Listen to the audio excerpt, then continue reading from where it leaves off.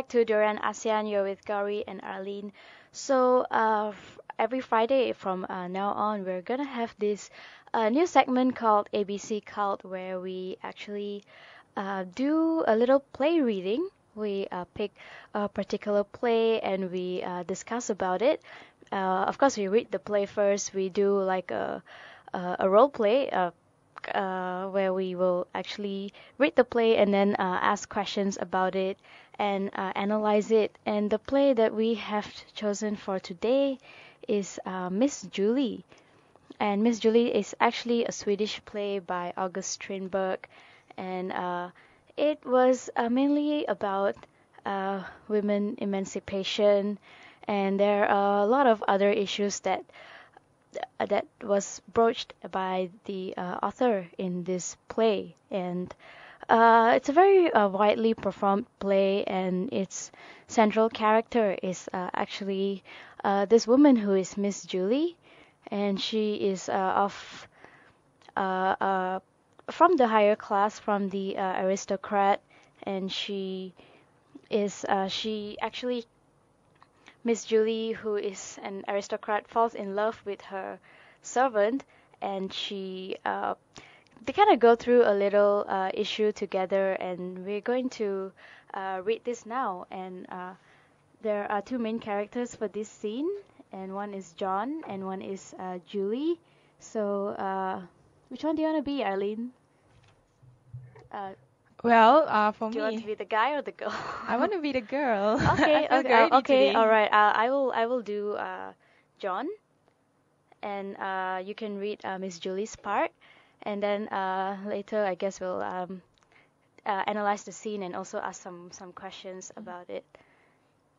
So um, we're gonna start now. No, Miss Julie, the fox don't love you. Uh, sorry, by the way, this is Miss Julie, scene number 20. Uh, no, Miss Julie, the fox don't love you. They eat your bread, but they make fun of you behind your back. You take it from me. Listen, just listen to what they're singing. No, actually, you you better not listen. What are they singing? Some it's some really nasty lines about you and me. Oh, what sneaks they are! Horrible. The riffraff is always cowardly, and in the fight, it's best to fly. Fly? But where to? We can't go out. And we can't go up to Christine's room either. Then come into my room.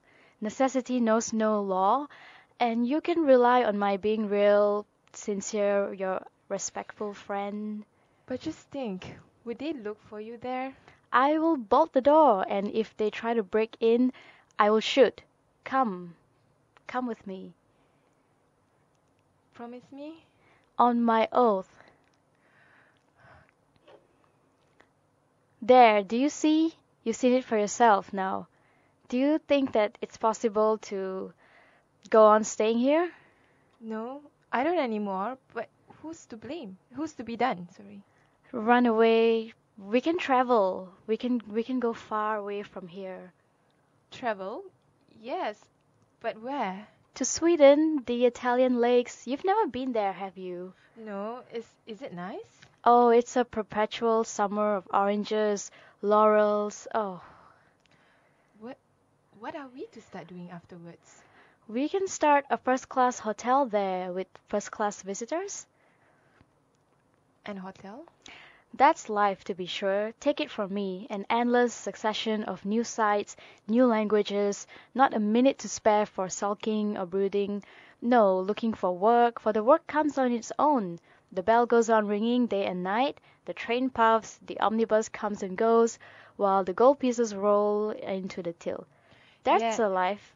Yes, th- th- that's what you call life. But but what about me? The mistress of the house, the ornament of the firm, with your appearance and your manners, oh, success is certain. You know, you can sit like a queen in the counting house, you set all your slaves in motion with a single touch of your electric bell, and the visitors pass in your uh, in possession by your throne, lay their treasure respectfully on your table.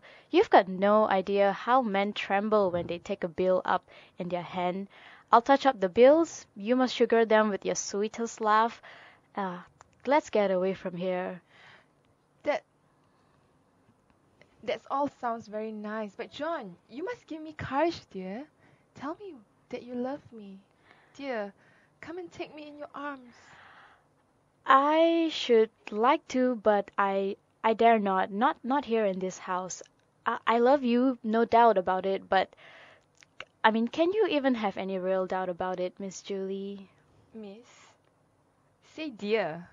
There are no any barriers between us. Say dear.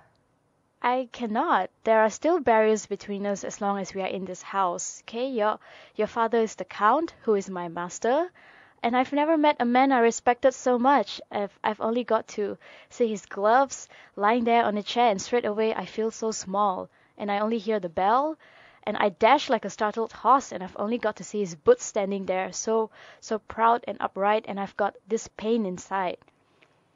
You know, superstition, prejudice, which have been inculcated into us since our childhood, but which one can't get rid of, but only come to another country, to to a, a republic, and I'll make people get on their knees and uh, before my my porter's livery on the uh, do you hear? You'll see, but not me. I'm not made to go on my knee. For I've got grit in me, I've got character, and for once I get on to the first branch, you'll you'll see me climb right up. Today I'm a servant, but next year I shall be the proprietor of a hotel, and in ten years I shall be independent. Then I'll take my trip to Romania and get myself decorated, and maybe on that note I will finish up as a count. Good. Good. Oh yes, uh, the title of a count is to be bought in Romania, and then you can be my countess. Tell me that you love me, dear. If you don't, why? Why I why am I if you don't? I will tell you a thousand times, but later on. Not here. Above all, no sentimentalism if everything isn't to go smash. We must look at this matter quietly like sensible people. You sit there and I will sit here and we will just pretend as though nothing happened. Oh my god. Have you no feeling then? Me? There's no man who has more feeling than I have, but I can control myself. A short time back you could kiss my shoe and now? Well, a little while ago, but now we've got something else to think of. Don't talk brutally to me. No, I'm just talking sense. We've made fools of ourselves once, let's not do it again. The Count may turn up any time, and we need to map out our lives in advance. What do you think of my plans for our future? Do you agree? They seem quite nice. But one question you need large capital for so great. An undertaking, have you got it? Uh, have I got it? Of course I have. I have my special knowledge, my uh, exceptional experience, my knowledge of languages. That's a capital which is worth something, seems to me.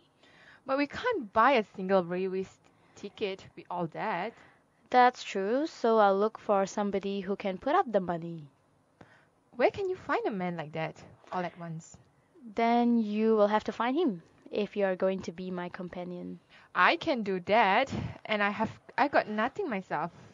In that case, the whole shame collapses, And and things will just remain as they are now. do you think I'll go on staying any longer under this roof as your mistress? Do you think I will let the people point their fingers at me? Do you think that after this I can look my father in the face? No! Take me away from here, from all these humiliations and dishonor. Oh my god. What have I done? Oh my god. Well, so that's the game. What have you done? Just as the same as thousand other people like you. and now you despise me? I'm falling. Fall down to I'm my falling. level and I'll lift you up again afterwards. What awful power dragged me down to you? This power which draws the weak to the strong, which draws him who falls to him who rises. Oh, was it love? Love this. Do, do you know what love is? Do you really suggest that I meant that? Don't you think I'd have felt it already long ago? What praises, to be sure. What thoughts. That's what I learned and that's what I am. But you just keep your nerve and don't play the fine lady here. We've got into a mess and we've got to get out of it.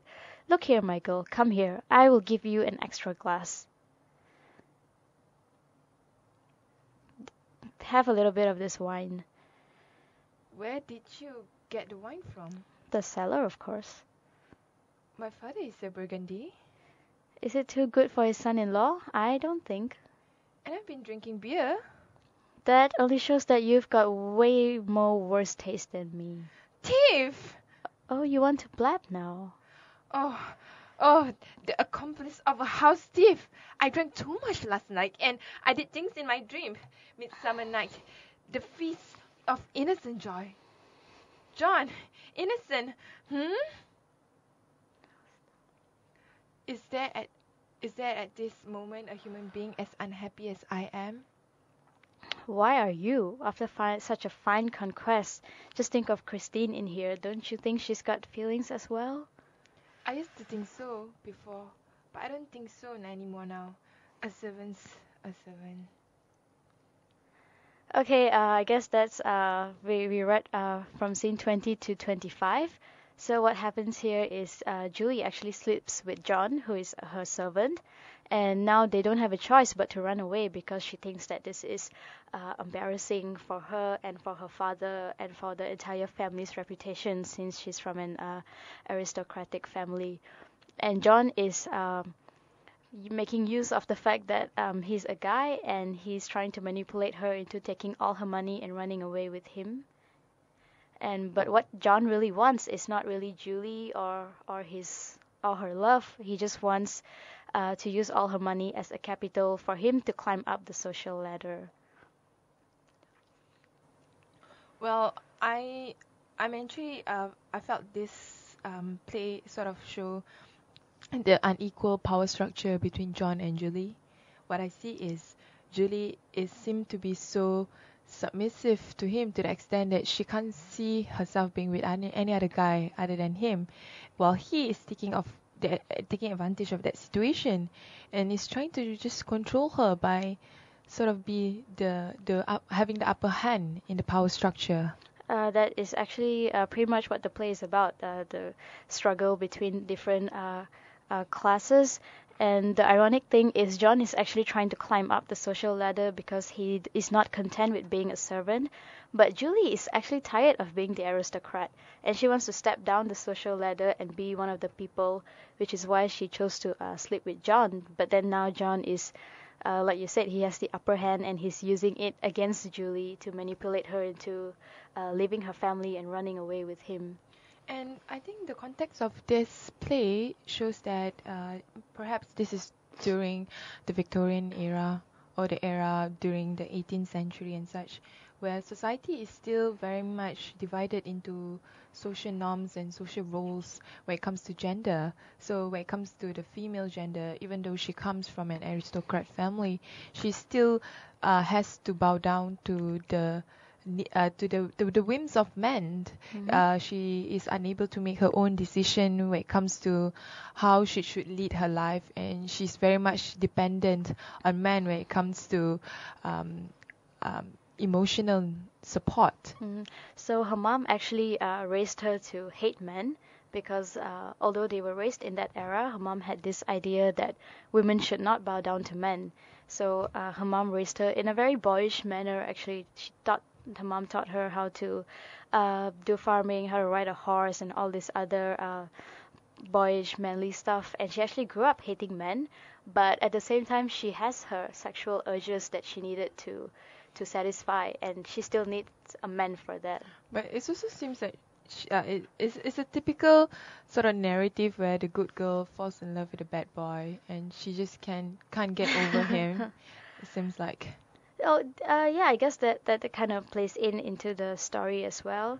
Uh, but John's uh, biggest role here is to cause uh, Miss Julie's downfall because uh, she was just another.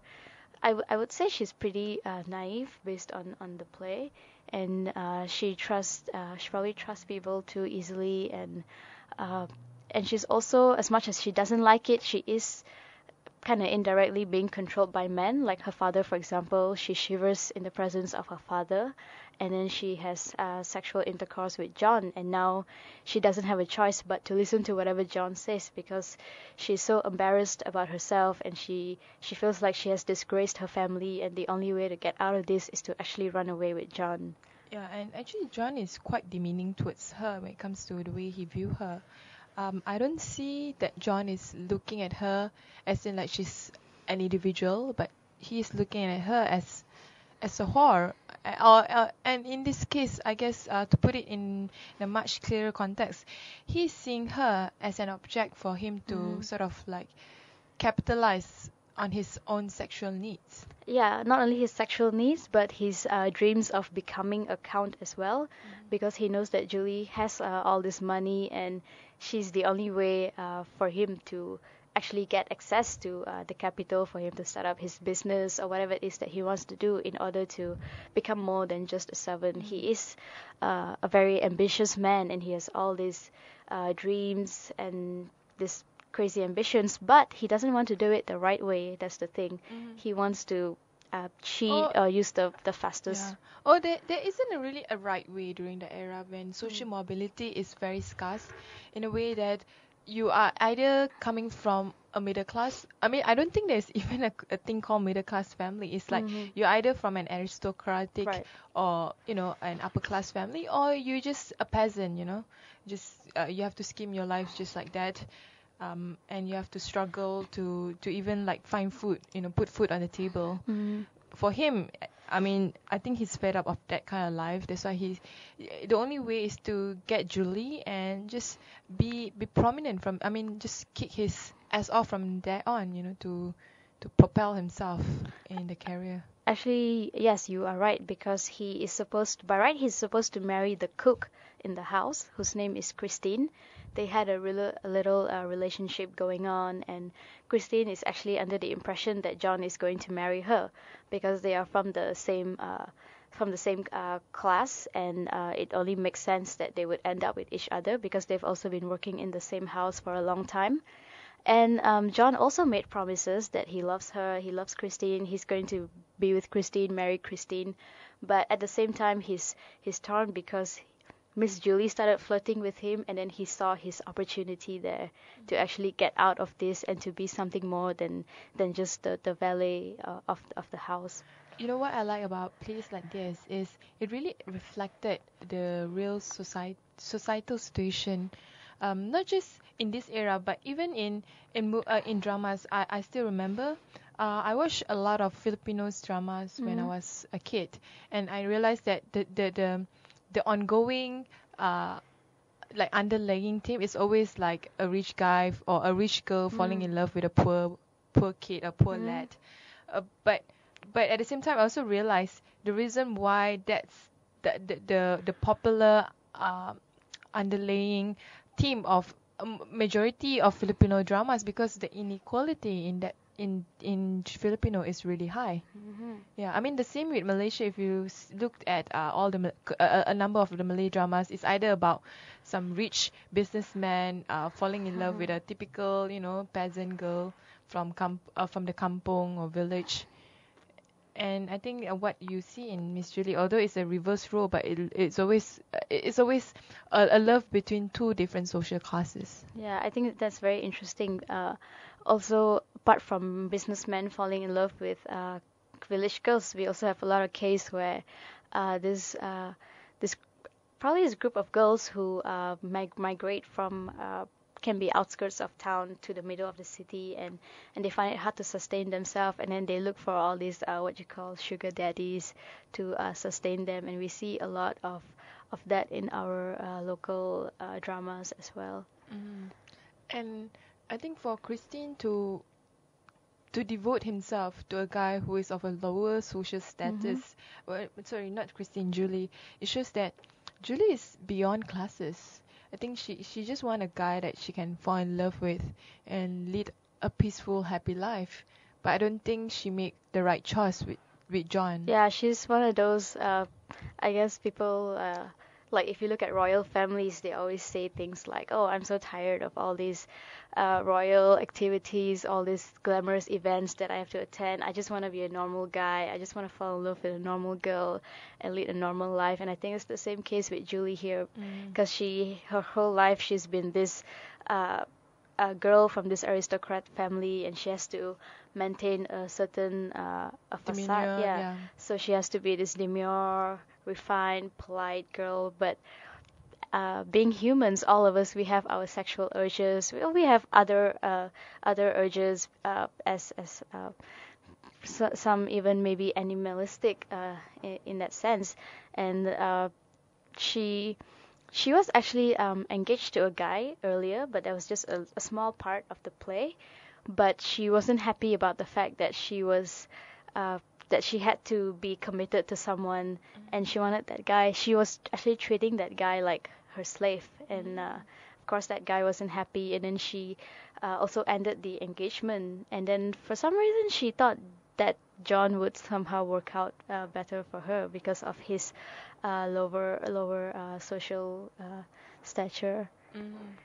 Um, personally, I I I feel that in today's society, we, we still have this kind of like power play between genders and power play be- between classes as well. I think uh, between genders is definitely much more obvious, even though uh, we have all this uh, feminist movement and women's Mhm. rights uh, advocacy. But at the same time, I, I also realize that even though women have progressed in terms of their class, their income, their career, they are still tied down in terms of the way the decision making, the way they are able to lead their life. It seems like they still depend a lot on men. Like, I mean, it's not just the social uh, structure, but also the social narrative. For example, if you go to any, uh, you buy any beauty magazine, Mhm. the the idea of an ideal woman is a woman who can take care of herself, who has a career, but at the end of the day, she must get a husband Mm. or get a boyfriend. So I mean, they, they don't celebrate a social narrative where she doesn't probably need a boyfriend. She just need to be happy Mhm. at the end of the day. Yeah, it's interesting that you brought that up because another uh, widely discussed issue from this play is also the emancipation of women. Because uh, the beginning of the play, Julie actually goes into the kitchen to uh, flirt with uh, John, and uh, by right during that time, a person of her uh, uh, her class does not even probably know where the kitchen is at home because the servants take care of everything. So even the fact that she uh, walked into the kitchen shows how she's uh, how she's probably breaking away from the social norms of, of that time and she has a mind of her own. And uh, also where the, the part where uh, not only she flirts with him she also t- uh, ask him for a dance. And they actually dance uh, in public and in front of everybody and and everyone was staring and wondering why is this aristocratic girl dancing with her servant because that is just unheard of during that time So I guess um, this. Uh, I mean, at the end of the day, I mean, my last comment is, I think for women, as much as uh, we have the ability to do whatever we want in today's society, as in like the way uh, in education, uh, economic activities, and all that. I think at the end of the day, we also need to change the social narrative itself. I think the the, the main focus for any woman should not be about seeking for a man's approval or finding the uh, the love of her life. I think it Mhm. should be always about how can she be happy in life and how can she spread the happiness to others. That's right, and also I think every woman should uh, speak up if they uh, they have whatever uh, thing that, that they are not happy about, or if whatever it is that they want, they should just uh, go for it, uh, be brave and, and be bold, and uh, probably take a risk in, in life and, and not be uh, suppressed yeah. by uh, Mhm. all these social norms out Mhm. there, all these uh, rules, uh, all this uh, perception that is created by uh, society. Don't let Mhm. don't let people impose that on you. So that's all for today. Yeah, I guess that's that's all that the time that we have. And you can always follow us on Facebook and Twitter. And of course, uh, listen to us live at durianasean.com or you can download uh, your mobile's TuneIn app and listen to us via your mobile. Yeah, so we'll be back in a bit to uh, for our ABC dialogue in about uh, 15 minutes. Yep. So stay tuned to Durian ASEAN.